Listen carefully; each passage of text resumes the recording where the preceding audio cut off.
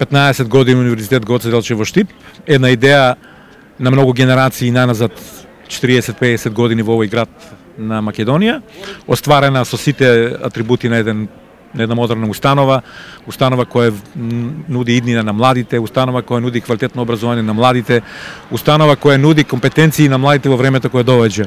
Градот Штип и Македонија треба да биде горда со оваа установа бидејќи тоа установа од врвен квалитет, врвен калибар кој може да се спореди со било кој европски универзитет. Слободно може да кажам дека нема никој да згреши да дојде да студира на универзитетот го во Штип. Добиваат знаење како што треба, добиваат не импровизации, него реално знаење, реални алатки за животот и мислам дека ова е една од поубавите работи на градот Штип што може да му се случи, тоа е универзитет во Штип. Не е исто да имате универзитет и не е исто да немате универзитет во градот. Ова е универзитетски град, се градат традиции, се гради друго мислење, се гради критично мислење во делот на културата, во делот на идентитетот на градот. Мислам дека е изворена прилика за овој град.